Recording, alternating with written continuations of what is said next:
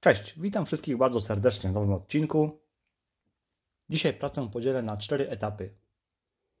Pierwszy to przygotowanie kadłuba do malowania, następnie malowanie. Trzeci etap to włożenie światłowodów w bulaje i ostatni etap to założenie odbojnic.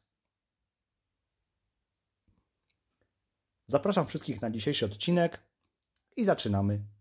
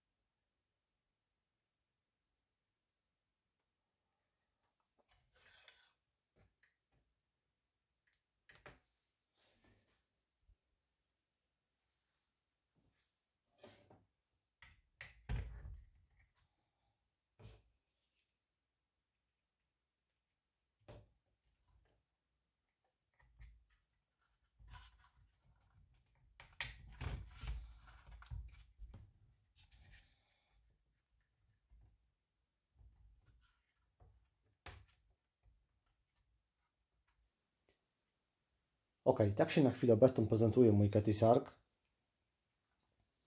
Wykonałem właśnie malowanie kadłuba. Założyłem także światłowody w bulajach.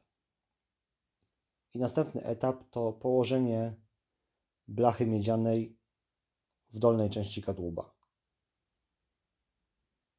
Bardzo dziękuję, że jesteście na moim kanale, że oglądacie moje filmy.